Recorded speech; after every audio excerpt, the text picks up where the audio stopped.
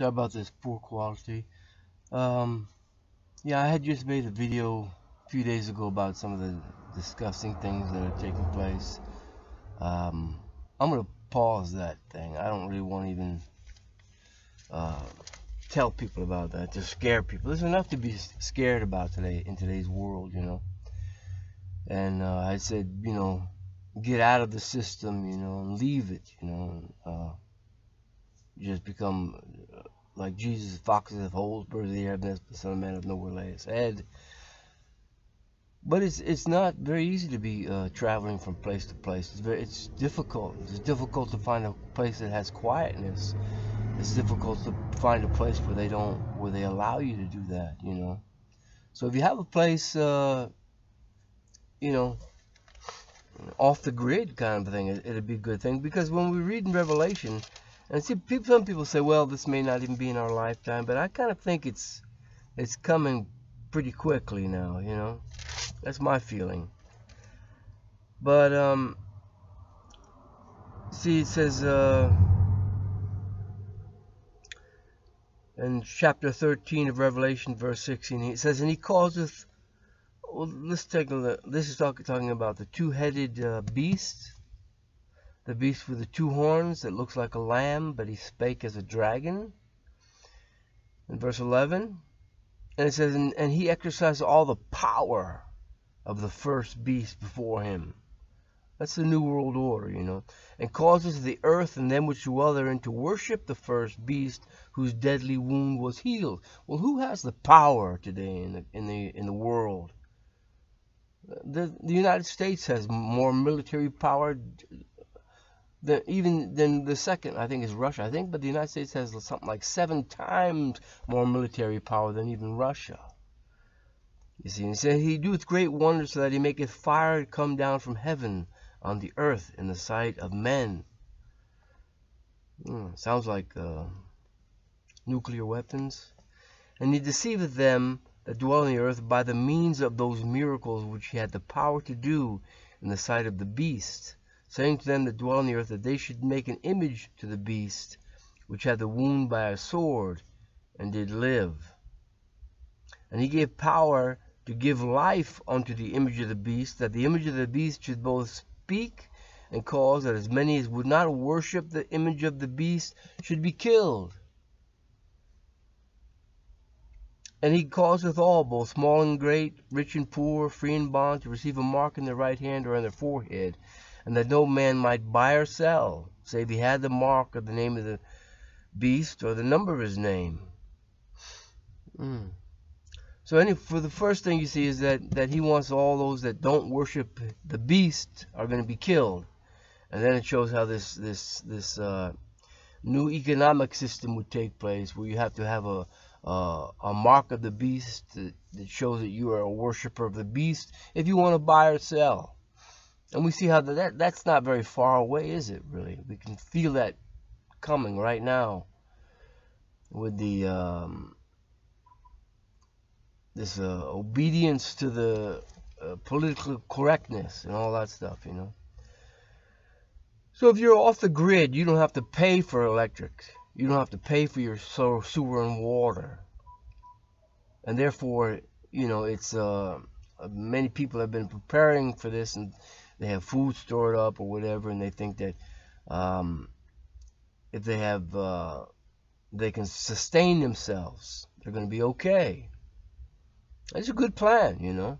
But the, the thing is, if, if, if with the technology and everything, where they and they know where they can know where you are, and they go, they want to file on everybody, they might be able to find you, you know.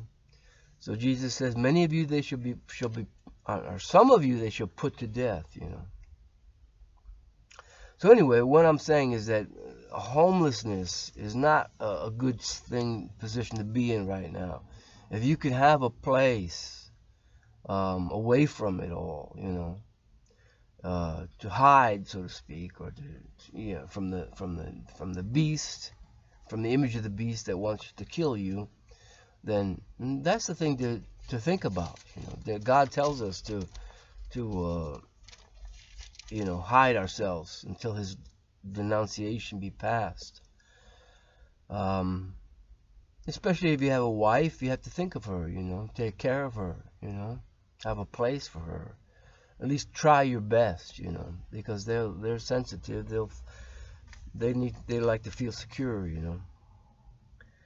And um, so anyway, yeah, that's that's what I want to say. But but if you have to travel, you know, you just have to do. Uh, um, uh, don't go to places where you know they're going to kill you.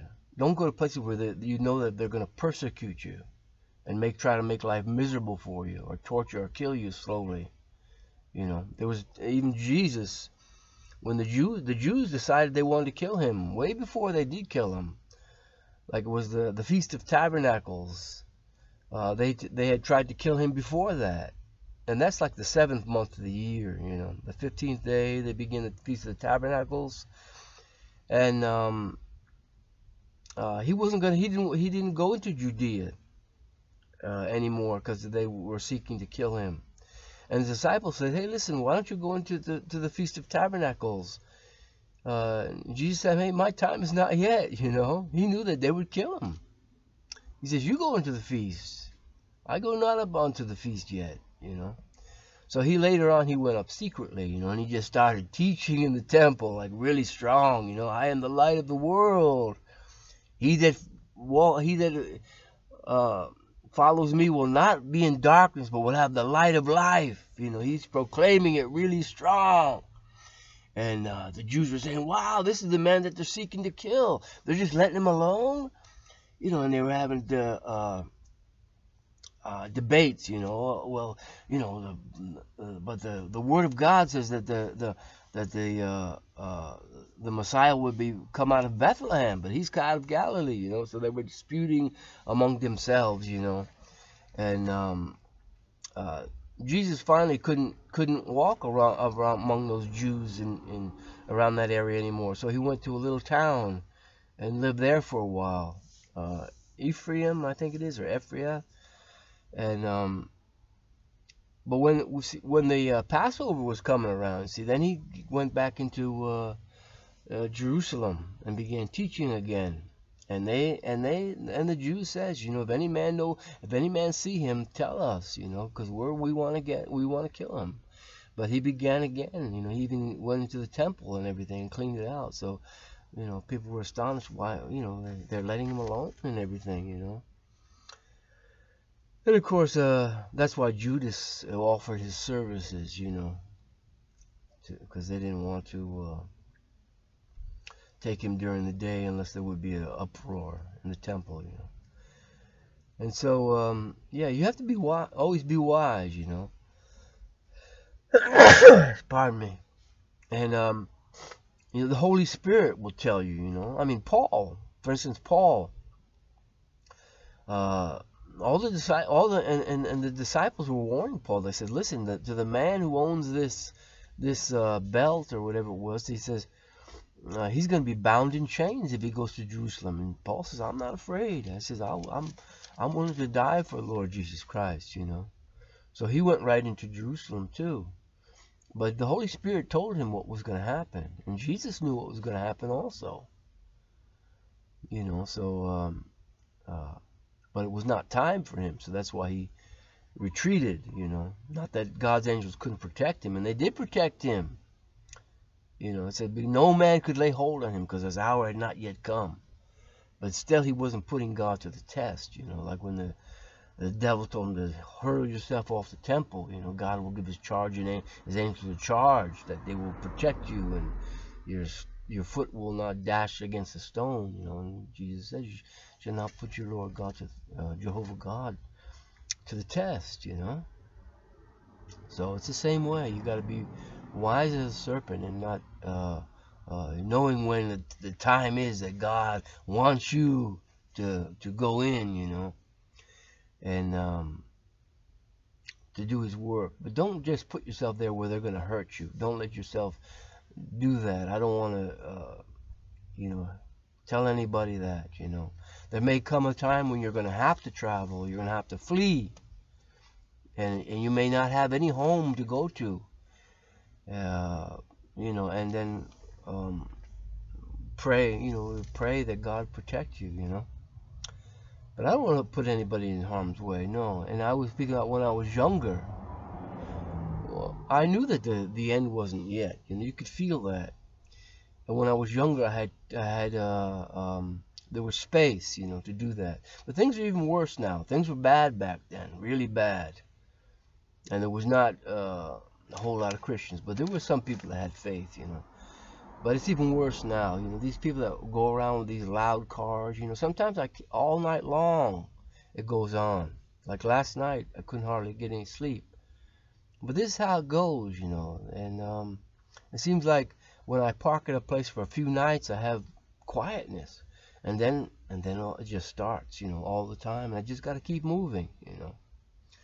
So anyway, uh, I just pray for you all, you know, all that are that are in Jesus Christ, you know you you you you you you don't you don't miss that opportunity that God gives you to protect you, keep you away. You know. I I'm I'm stupid sometimes, you know, because I I I think, well, no, I want to go right into the trouble, you know. But sometimes I miss the opportunity that God has given me to to uh, hide away, you know, because because um, you know you can cause God a lot of worry and things. He he worries about his people. So um, sometimes he wants to provide a way for you to escape and to live a quiet life for a while, you know, and take that opportunity. I, am stupid because I sometimes I miss that opportunity, and I blame myself for it because I realized, oh, God was giving me something, and I didn't take advantage of it, you know. So take advantage of the, His opportunities that He gives you, and uh, and uh, you know everyone everyone's different. So you so do what he has given you to do. But if you're wicked you're not going to escape him.